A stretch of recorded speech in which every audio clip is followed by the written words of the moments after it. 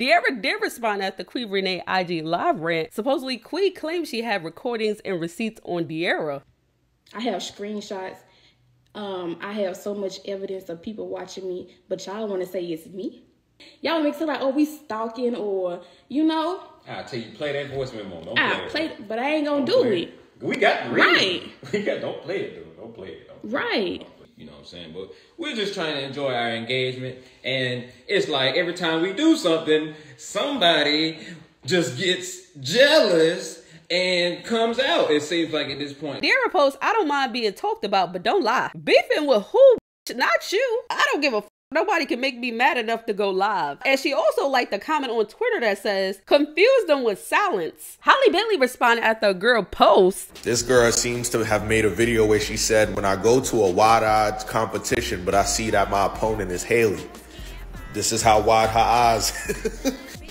Haley commented, you'd win. Petty, son. So then Shorty replied with, no way you commented. Love you.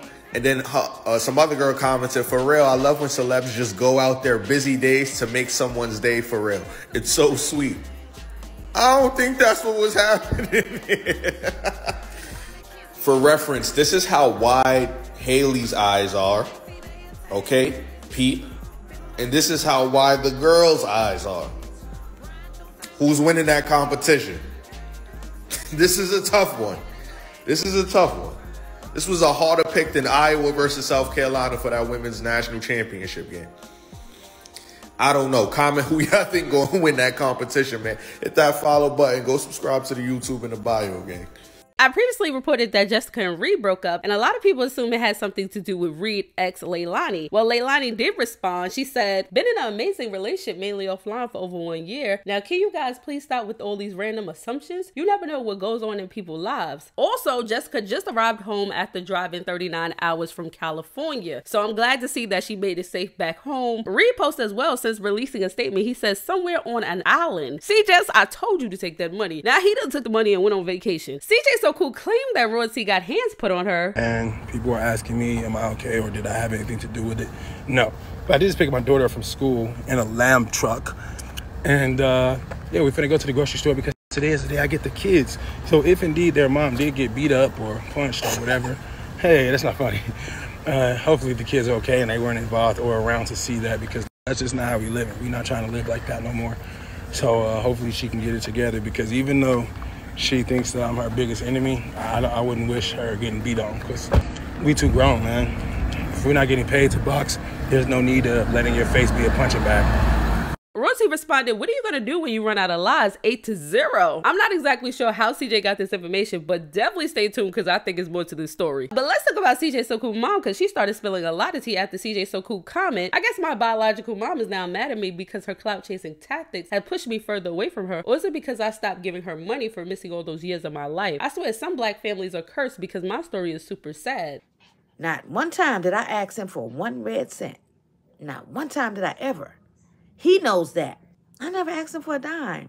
Treat, like I said, treat my mama like shit. He treats my mama like shit. You put on a show and take on a little measly shopping spree and buy her a little car, and then it's all good. Get her a phone, and then you stop paying a phone bill. Come on, man. You crazy as hell. I would never do my mama like that if I had the money he got. And she raised me. And she raised me? Why would you do that to her?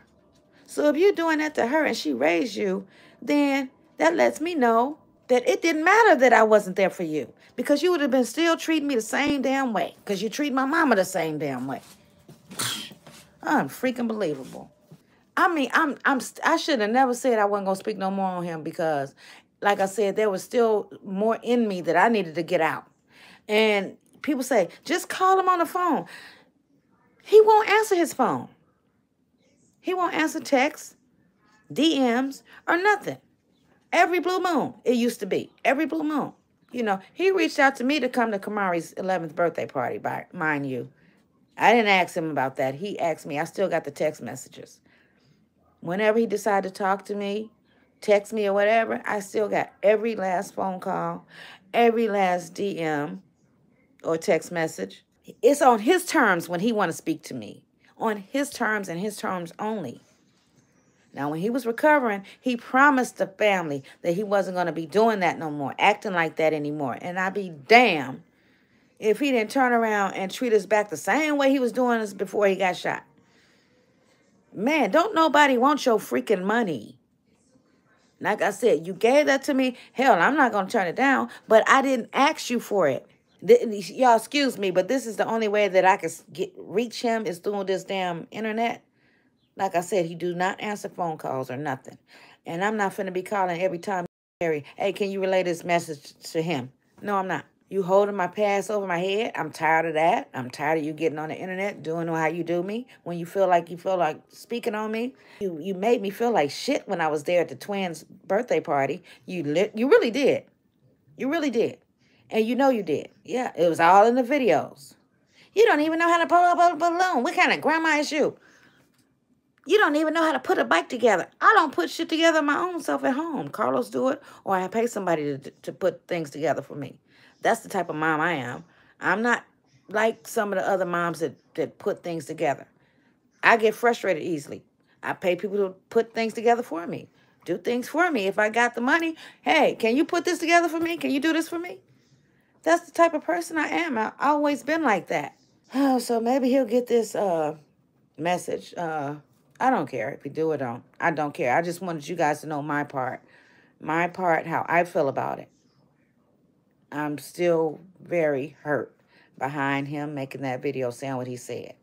Uh, I'm still very hurt behind the twins, uh, being at the twins, for being there for the twins' birthday party and him saying the things that he said to me.